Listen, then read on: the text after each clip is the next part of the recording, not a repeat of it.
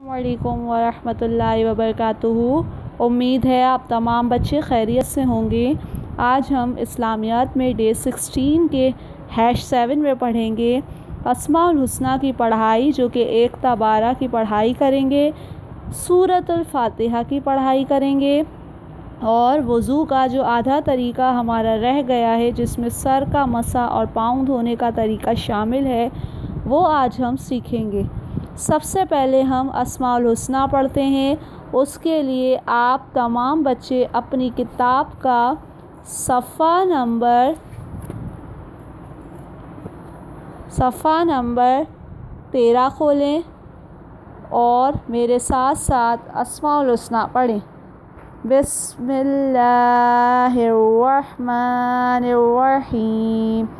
हुवल्लाहुल्लज़ी।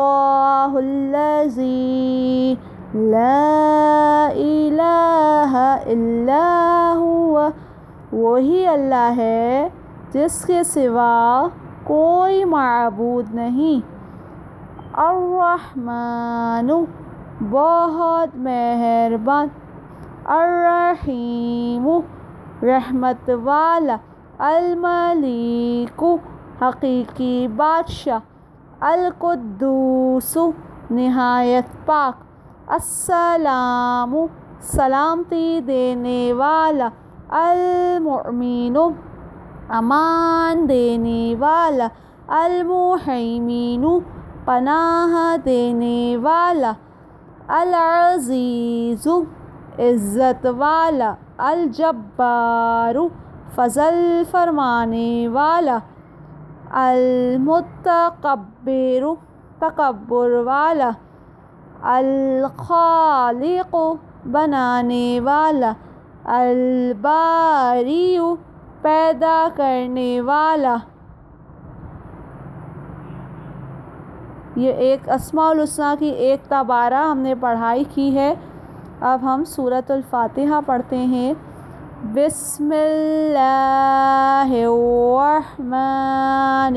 बिस्मिल्लाहिर्रहमानिर्रहीम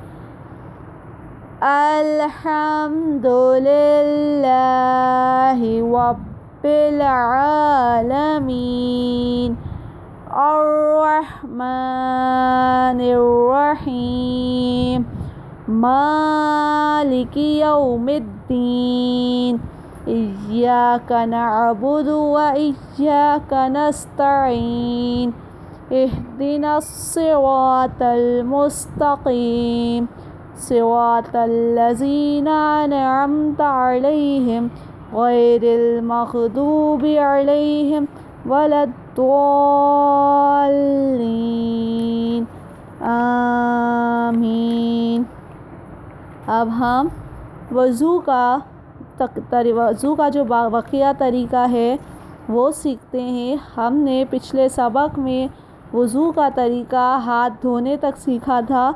अब इससे आगे का तरीका हम सीखेंगे, जिसमें सर का मसा और पाँव धोने का तरीका शामिल है। पहले दोनों हाथों को तर करते हैं, फिर पूरे सर का एक बार मसाह करते हैं।